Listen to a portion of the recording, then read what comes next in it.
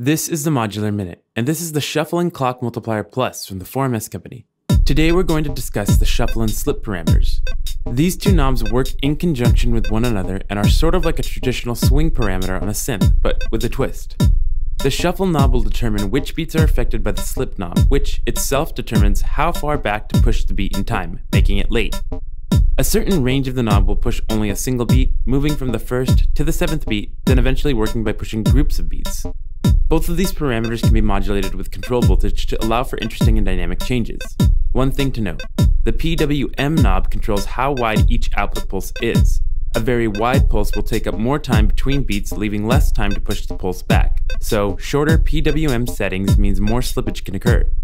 Follow us for more insight into the world of synthesis and sound design, and big thanks to the 4MS company for helping out with this video.